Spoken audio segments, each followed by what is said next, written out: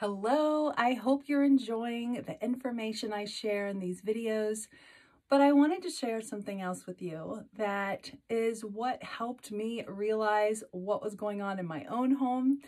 And this was kind of what did it for me. So I'm to do a raw chicken demo. And with the raw chicken demo, I'm to take this raw chicken and I'm gonna, and it's really juicy. Take this raw chicken and I'm gonna smear it over these two plates. And then I'm gonna clean one plate with my old go-to and I'll clean the other plate with a Norwex Enviro cloth. And then we'll look under a black light and see which one did a better job. Now keep in mind when I use the Norwex Enviro cloth, I just use water with it. So it's just damp with water right now. So let's get started. And I'm also going to use some testing swabs. These are the same testing swabs used by the EPA and the FDA to check surfaces for cleanliness. And the swabs are, I get them from a lab. I believe it's Weber Labs. And so they're very accurate. They are rapid testing swabs. So we'll find out right away what is going on on our plates, right? So green means they're clean. Anything below the green, the plates are going to fail. So if I worked for the EPA or the FDA and I was using these, if I didn't get that bright green, it would be an automatic fail. So let's use one and see how it works. Get it all covered in this juice that's on the plate. And we'll see what a negative or a failing result would be. So right away, we get a darker color at the bottom. So this would fail. And what that means, these are testing for proteins. Proteins, and you might think, why are we testing for proteins? Well, proteins are smaller than bacteria and they're smaller than viruses. They're also the food source for bacteria. So if there's the presence of proteins, then we're going to have big problems, which is why the EPA and FDA also checks for proteins because a surface free of proteins will also be free of bacteria in the future. Okay, so we're completely covered now. We know we failed. And I want to use a black light to really be able to show you what's on the plate. I'm going to clean one plate with my disinfectants. This used to be my go-to. I don't use it now. I just have it for demos. But this used to be my go-to before Norwex. I trusted it, right? Used it on everything. And a couple things that I never paid attention to was what was written on the back. So one of the first things that stands out to me is uh, hazardous to humans and domestic animals. Um, it has physical and chemical hazards. And the reason being is because, I didn't know this, uh, disinfectants are a form of a pesticide according to the EPA. All of these companies who make these disinfectants, they have to have a sheet on their website for public viewing that is called an MSDS, a manufacturer safety data sheet. And on that sheet, unfortunately, about eight pages down, it indicates that this is a pesticide. Also that we should wear gloves or wash our hands immediately following use, to wash our surfaces with potable water after use.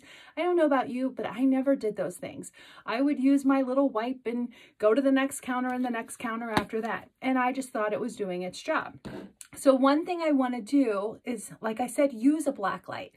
So I'm going to sprinkle in a little bit of this Glo Germ. This is not provided by Norwex, but this is a product that will mix in with the raw chicken juice. We already know they're dirty. And that way when I use the black light, we can see what is really left on the plates. When we use chemical cleaners, uh, we're also depositing a lot of chemicals on our surfaces, which can be absorbed into our skin, into our kids' skin, and that contain harmful endocrine disrupting chemicals. Now I'm going to take my fingers, gross, and rub this in and just really cover the plate really good. And I'm going to do the same thing to my other plate. And then we're going to get started. So first I'm going to rinse my fingers off with my Enviro cloth. And we're to start with the disinfectant plate. So I'm going to get a wipe or two. I'll just get one wipe. They're pretty big. And I'll tell you, since I don't use chemicals in the house, I just use Norwex, these are so, smell so strong to me now. So I'm going to use my disinfectant wipe, which has like the scrubbing nubs.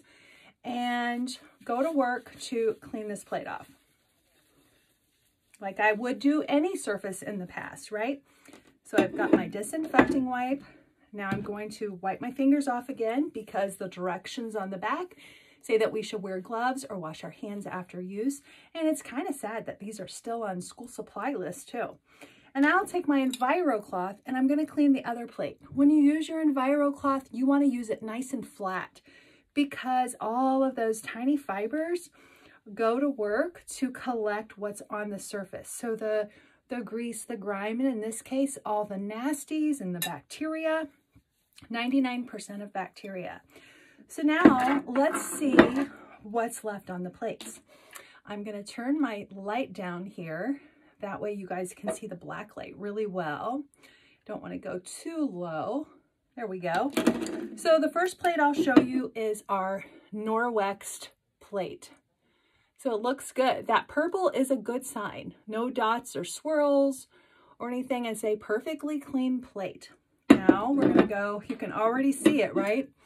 This is the plate that we cleaned with the disinfectants. And you'll see all of this residue. It could contain bacteria, but it's definitely containing a lot of chemicals. And those chemicals are hazardous to humans and domestic animals. And it just didn't clean, right? It just smeared it around.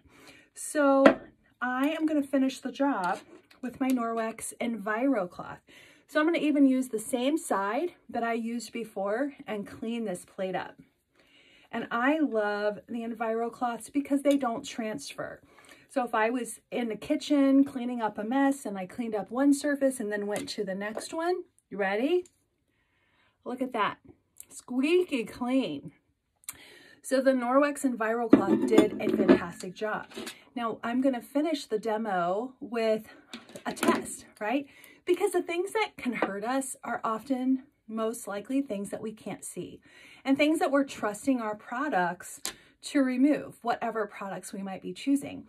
So I have another testing swab here, which is, this is my new one. This is the one we just used. And I'm gonna rub this on the plates and I'm gonna see if there's anything left. Get them really good. All right. And we'll break the seal on the top, let the solution run down see what color we get. Bright, bright, bright green. And um, I mean, it's, it's not veering off that. And again, I used to be the biggest skeptic. And so what I'm to do is show you that this is a good swab. This swab works. So it's green right now, right? I'm to rub it on my raw chicken and we're to see what happens. And pretty sure it's to change immediately, and it sure did. So it's detecting all that nasty. So the Norwex Enviro cloth is the way to go for my family. We've completely ditched these. In fact, I saw them in the grocery store recently. They were low stock and like $9 a container. And so this is a much more sustainable option that obviously cleans better, but the Norwex EnviroCloth, if you take care of it properly, it will last a good 10 years and it has that micro silver in it, which is our BacLock technology. So once the bacteria is in the cloth, the microsilver is going to go to work to penetrate the cell wall of the bacteria and render it helpless. I hope you've enjoyed this video.